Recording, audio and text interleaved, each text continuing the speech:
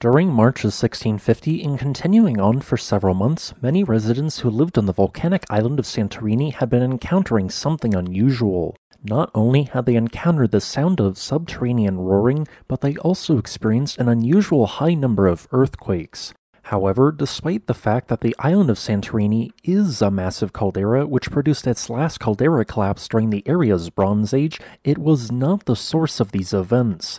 Instead, it originated 8 kilometers to the northeast at a volcano which was at the time completely unknown to science. Now called the Kolumbo volcano, this volcano would go on to produce an island forming eruption and eject substantial amounts of ash, which subsequently rained down on Santorini, collapsing roofs. Then, a major explosion occurred, causing the island to collapse into a caldera.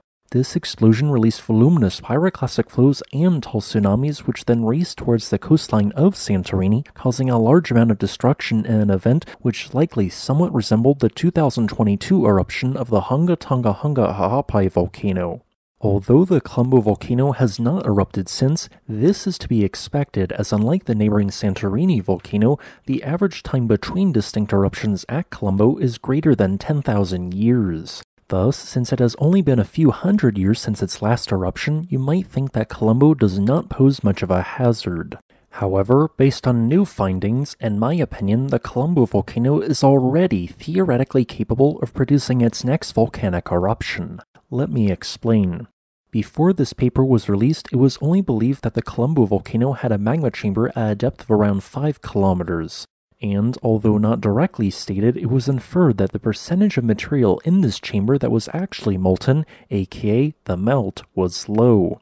Generally speaking, a volcano with a very low percentage of melt when compared to the total overall volume of the magma chamber is highly unlikely to erupt. However, if the percentage of melt increases when compared to the magma chamber volume, an eruption becomes all the more likely. In many cases, there is a minimum threshold that must be reached, which largely varies by volcano, that makes a volcano theoretically possible to erupt in the first place. However, in a new paper which is being referenced on the screen, it was discovered that the Kolumbo volcano instead has a magma chamber at a depth starting at 2.1 kilometers below sea level and extending to at least 4 kilometers below sea level. More importantly, this magma chamber was detected to contain as much as 42% melt at its center, although the paper notes that this might be overestimated by as much as 6%. However, even with the overestimation, it implies that a section of Kolumbo's magma chamber has 36% melt. Based on this figure, in my opinion, the Kolumbo volcano is already theoretically capable of erupting again. However, this fraction was noted only for the center of the low velocity anomaly, as other sections of the suspected magma chamber may have a much lower percentage of melt compared to their volume. Regardless, a total of 1.38 cubic kilometers of melt was detected underneath the Kolumbo volcano, which is slightly less than the dense rock equivalent of material ejected during its 1650 VEI 5 explosive eruption. While this information might sound a bit scary, it is not an immediate cause for concern. Volcanoes can remain in a state where they can theoretically produce an eruption, but don't for thousands or even tens of thousands of years. Thus, given the current knowledge of the Kolumbo volcano and its current activity, it seems unlikely to erupt anytime soon, so the residents on the island of Santorini should at least for now not worry about the Kolumbo volcano. However, the shallowness of Kolumbo's magma chamber presents a dangerous hazard.